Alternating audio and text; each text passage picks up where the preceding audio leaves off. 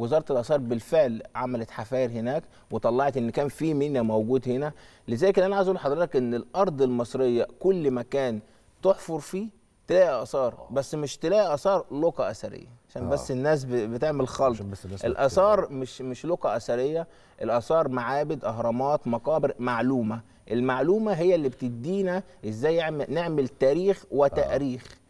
يعني إحنا صح. ممكن التاريخ ده أما نلاقي نص مكتوب. التأريخ من خلال الملامح الفنية. نقدر نقول إن التمثال ده مثلا عصر دولة قديمة دولة حديثة دولة وسطى من خلال العمل في الحفاير.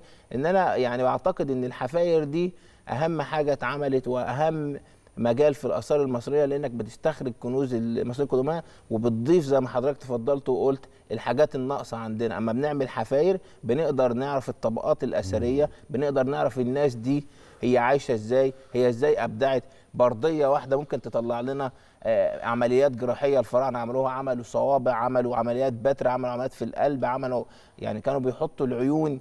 يعني الت- الت- التقدم في كل المجالات ده على رأسهم الفلك اللي أنا أعتقد إن الفلك ده من أعظم الم- الم- المجالات اللي, طبعاً. اللي مصر عملته كل ده حاجات بتضاهي أسرار الحضارة ال- ال- يعني المصرية اللي علمت كل المتعلمين في العالم